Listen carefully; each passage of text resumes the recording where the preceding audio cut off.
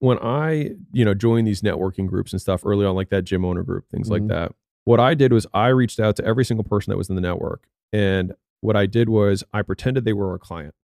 Hey, welcome to Target Destroyers, where we will be showing you the latest tips and tricks in the financial space as well as business and entrepreneurship. If you want success in your life and business, then you came to the right channel because we will be uploading very frequently. Make sure to hit the subscribe button if you haven't already.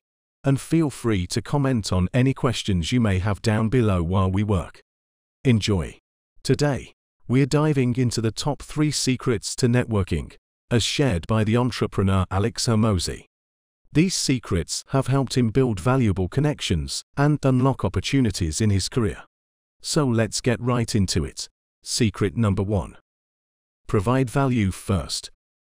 When you join networking groups or interact with professionals in your industry, don't approach them by asking what they can do for you. Instead, take the initiative to figure out what you can provide to them. Alex Hormozi started by reaching out to everyone in his network, treating them as potential clients. He offered to review their sales scripts and processes, providing valuable insights as if it were a paid project.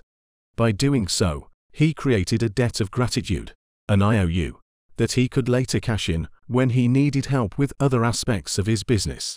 Secret number two Do your homework before networking calls. Before reaching out to someone for help or advice, take the time to prepare and research their specific challenges. Be ready with ideas and solutions tailored to their needs. This preparation shows respect for their time and expertise, making you stand out from others who may be looking for handouts without offering anything in return. Secret number three over deliver and demonstrate your skills. When you want to connect with someone who's ahead of you in your industry, showcase your unique skills and abilities. If you're a carpenter, create an outstanding piece of work, like an amazing table, and send it to them as a gift. By over delivering and showing that you're willing to put in the effort, you leave a lasting impression.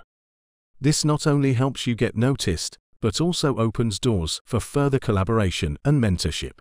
Remember, networking is about building genuine connections and offering value before seeking anything in return.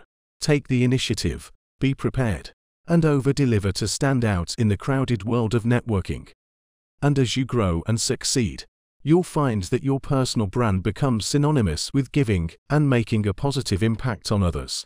If you enjoyed this video, don't forget to give it a thumbs up and subscribe to our channel for more valuable insights and tips on success in the financial and business world.